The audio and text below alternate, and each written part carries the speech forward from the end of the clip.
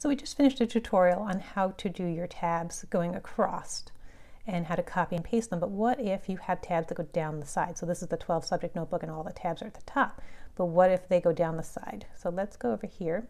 This is a blank sticker notebook and as you can see I was doing the tabs across. But what about when your tabs go this way? What do you do? So same thing, you're going to grab your text tool and you're going to type in you know what the name. So maybe we have a whole bunch of stars. We like stars.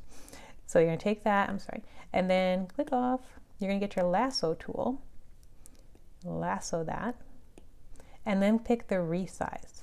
And the resize gives you this rotation tool. So you can resize it and you can change the angle and you can put it here. So then you would just do the same thing. You just keep going down. So maybe I have a, uh, have um, calendar ones. So I have the days of the week. So I have the months maybe on a page and I have a bunch of different Januaries and Februaries and they look pretty.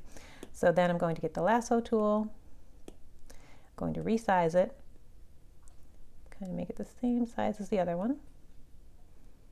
And I would go down and I would do all of those and then remember you're going to take the lasso tool in the end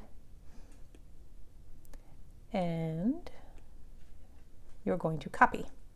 And then you'll do that for every page. So let's go here paste, and just drop them in. So that is how, like here I was working on the flowers tab. So that is how you would put those on all of them. So you would have to paste on every single page just to get them to work, but that's how you would do it for the horizontal. So now you know how to do the horizontal and the vertical tabs.